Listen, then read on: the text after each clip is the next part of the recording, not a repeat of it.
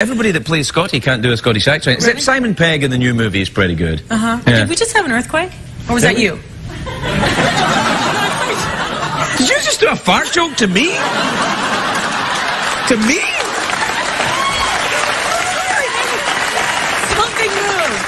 No, it's- Something, the earth moved. It might have been you. Yeah, it might have been. No, yeah, don't think so. No, I think what it was was that this is you're used to the big time, uh, uh, I you know, just, I'm late sorry. night. When you speak, I just, I love big time. It's just so awesome. It's, you, you make words sound more beautiful than I normally hear them sound. Oh, Yeah, it's lovely. That's a very I'm nice- sorry, continue.